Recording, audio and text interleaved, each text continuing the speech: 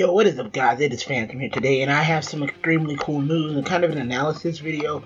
So let's look looking at the Dragon Ball Super art for the new new Dragon Ball Super art that's going to be involving future Trunks. Now, if you know me, I wasn't the most excited about this arc, but I would I was having debate, but overall it's looking really nice.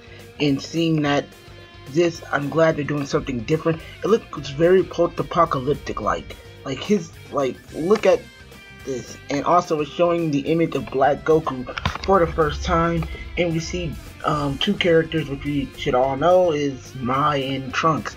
Now from most of the news which I really can't really read off of a news article from this because A the, the magazine is in Japanese like the scan is in Japanese and B, the only translation I could find was a French translation, which makes absolutely no sense. So if you guys have any more information than what I'm about to say, please write it down in the comments down below. But from what we have confirmed is that we know it's Trunks from our timeline, which is the Cell arc and all of the future Trunks we know. That's all we know. We know it's not Trunks from when he was, uh, I mean, from Super or anything.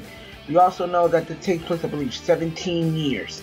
If I am wrong about this, please correct me in the comment section down below. And we know that all we know is that Black Goku has been fucking up the future. Now, if we can look at Black Goku a little differently, he's wearing wearing a Potara earring. What could this mean? Could he be under the control of someone, or could he have like could could something have fused with him? That's what I was thinking in my head, like a dark entity. And it doesn't have to necessarily be a person he fused with. It can honestly be something a dark entity would wear. As a lot of YouTubers have said, the Micro wears this, the Kaioshins from Universe 6 wears them, and it's not just restricted to fusion. Otherwise, there'd be a whole bunch of fucking fusions of Kaioshins. And the Migro could have been a fusion.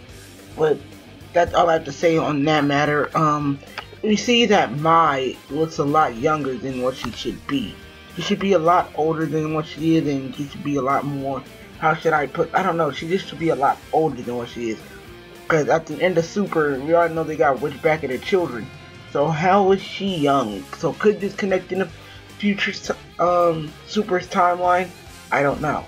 Now, we see Trunks, of course, with his iconic sword, and he it just looks so post-apocalyptic to the point where he looks injured. So he must have have at one point tried to take this enemy on and was defeated.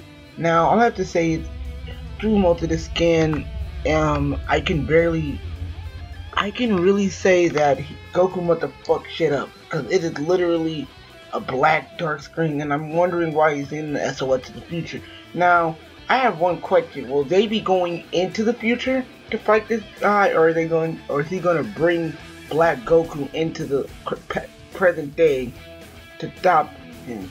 Which is something I'm really wondering and really wanting to see.